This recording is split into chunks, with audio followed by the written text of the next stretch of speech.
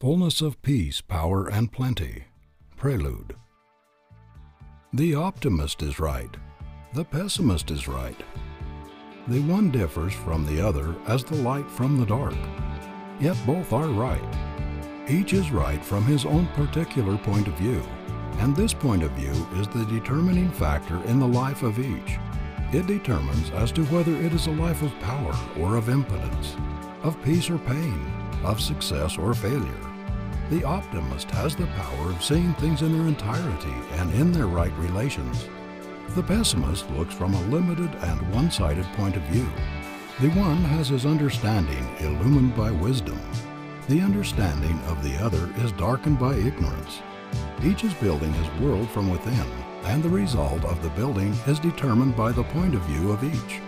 The optimist, by his superior wisdom and insight, is making his own heaven, and in the degree that he makes his own heaven is he helping to make one for all the world beside. The pessimist, by virtue of his limitations, is making his own hell, and in the degree that he makes his own hell is he helping to make one for all mankind. You and I have the predominating characteristics of an optimist or the predominating characteristics of a pessimist. We are then making, hour by hour, our own heaven or our own hell. And in the degree that we are making the one or the other for ourselves, are we helping make it for all the world beside. The word heaven means harmony.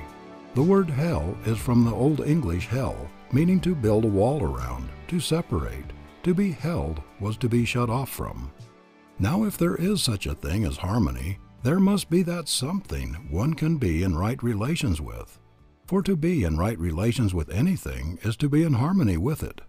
Again, if there is such a thing as being held, shut off, separated from, there must be that something from which one is held, shut off, or separated. End of section one.